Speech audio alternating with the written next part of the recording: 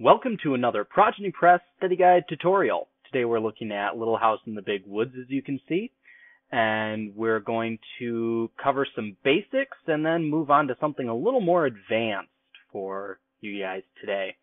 So we're going to use the table of contents to skip ourselves down to the first section here.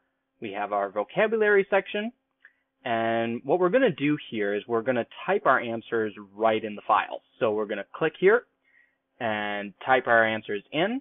Uh, by the way, feel free to use my answers for your own work. However, I accept no responsibility for your grades. So we got our first answer in here. We can hit the tab key, bump us down to the next uh, form to fill in. And we're going to type in our next answer right there and that'll do that for the typing. And here we're going to move on to something a little more advanced. What we're going to want to do is type our answer in the blank space, but we also want to keep things a little more organized and tell what words in the vocabulary section we still have left to use. So we're going to want to cross those out as we go. So we're going to type in our first word there, as you can see. And then under tools, we're going to want to go to customize toolbars. And here we're going to click on the comment and markup toolbar. And we don't really need all of these tools, so we're just going to uncheck these. But we will want the cross out, the underline, the highlight. We don't really need the stamp tool or the text box or any of that. Um, the sticky note tool is very handy for grading the work after the students completed it. So we may want to keep that one checked.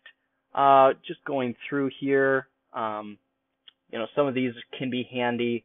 Uh, the rest of this you can kind of go through and see what works for you, uh, what what kind of uh, helps you keep track of your work a little more. I'm just gonna kind of go through and pick the the options that I find helpful.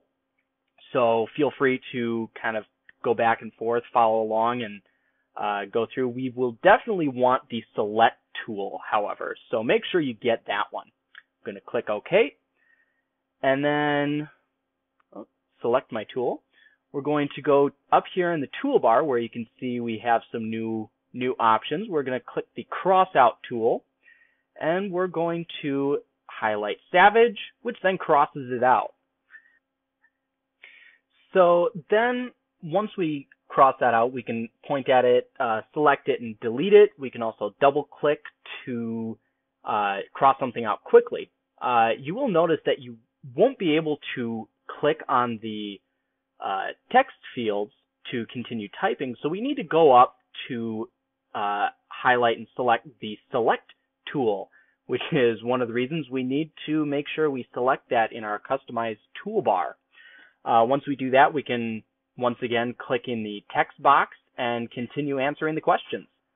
So we can, that just helps, you know, keep things a little more organized for us. So this is Progeny Press Study Guide Tutorials, signing off.